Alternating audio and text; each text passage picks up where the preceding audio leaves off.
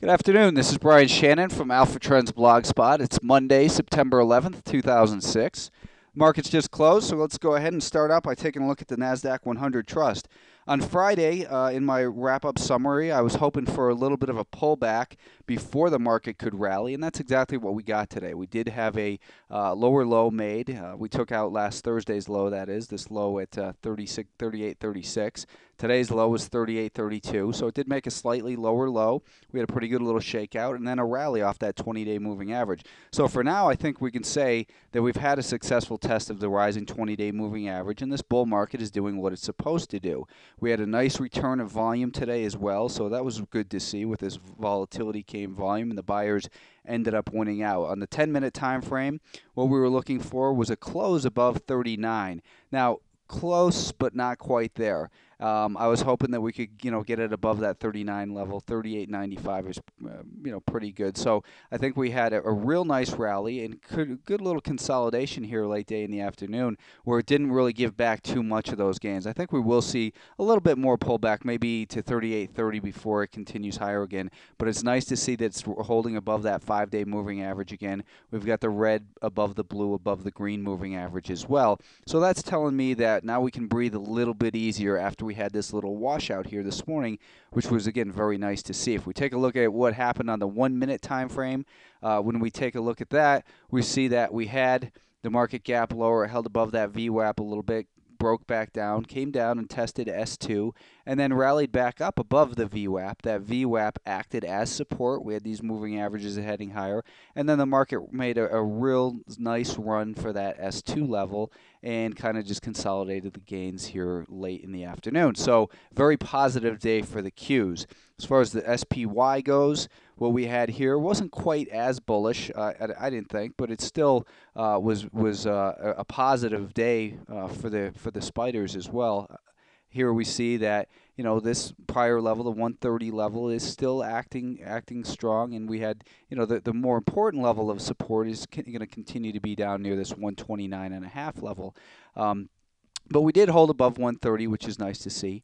And we need to see the market really what I was looking for there was 130.60 for the buyers to retake that uh, before we could say that they really had control. And that's about this level uh, well, right here, I'll draw it in. So that's 130.61. And you can see that's where we had the declining five-day moving average as well. So the spiders aren't quite as bullish here as the NASDAQ 100, but it's shaping up very nicely. For now, in the uh, spiders, the SPY, I think that we're going to keep an eye on 130 level. And then obviously, if 129 and a half is taken out on the downside, then there's going to be bigger problems for this market. But I thought today was a very constructive day. The semiconductors, let's take a look there. They had a nice day as well, and this, you know, this market's setting up uh, quite positively. We've got these higher lows. Now, what we need to see is the the trend continue and it, the market goes up and takes uh, takes out these prior highs and makes a higher high, and we can hopefully look for a test near that 200-day moving average.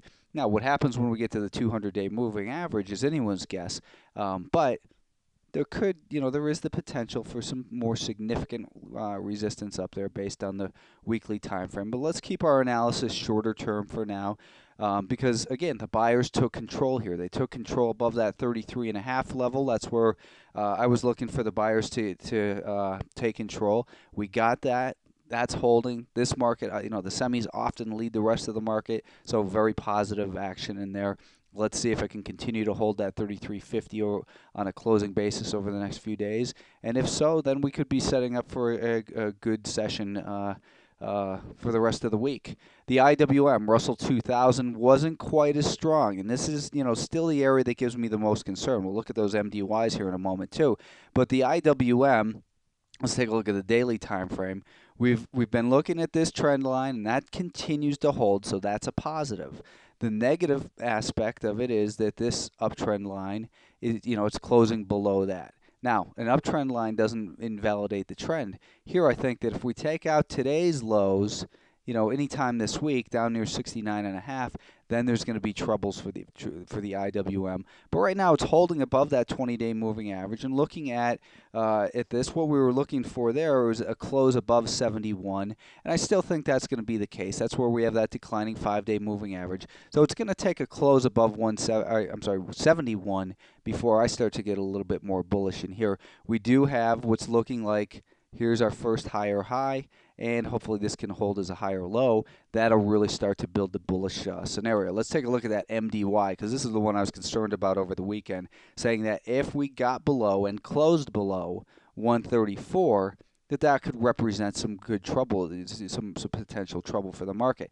Now, the, the MDY came down below that 134, and that should have given you reason for concern, but we did have buyers come in quickly and squeeze the short. So now hopefully what we're doing is getting a big short position built in here that'll be fuel for the upside fire.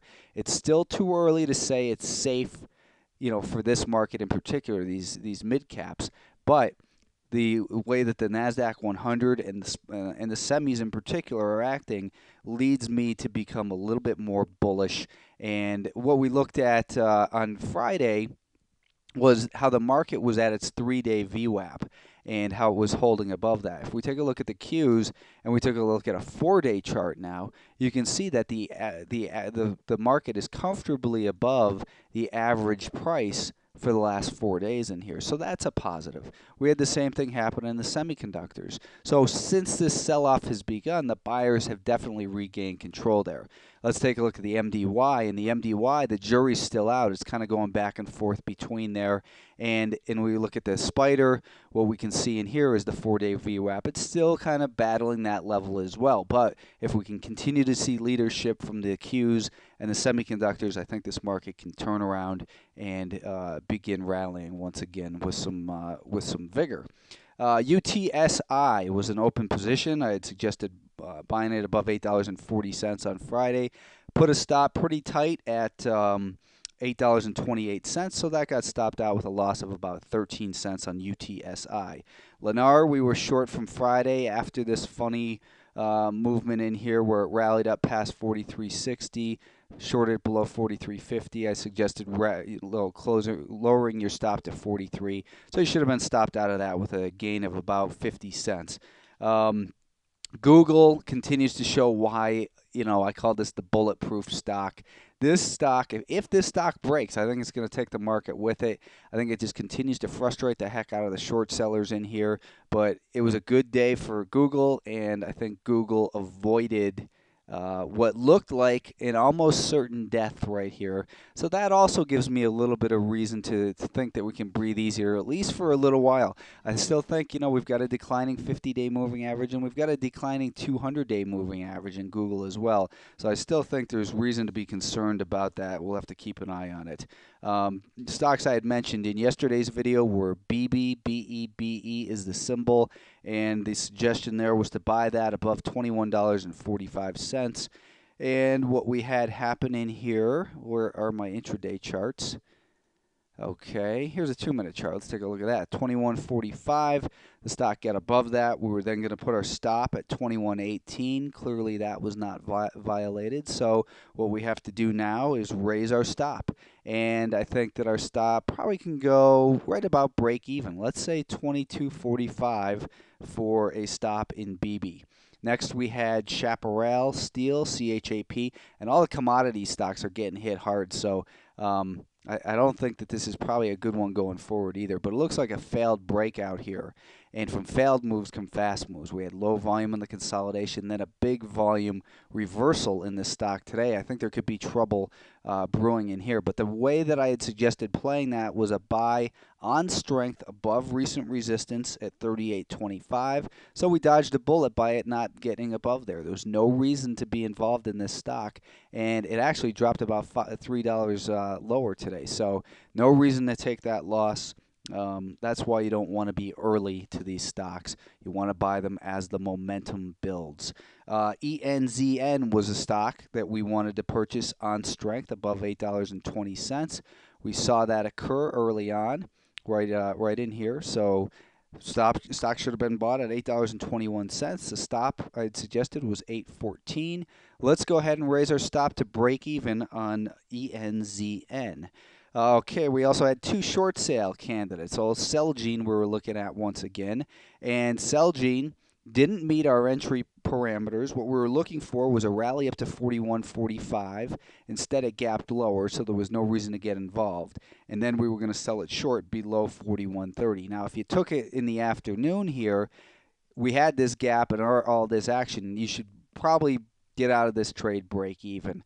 This stock is a wild stock, and what I'd suggested that you know it, it, it was a, a, target of 39.50. Now I'm not taking credit for the trade, but I just want to point out how volatile this stock is. It ran down to that 39.50 level, which is the rising 200-day moving average. So it leads me to believe that for now, uh, that we've had our fun with Celgene on the short side.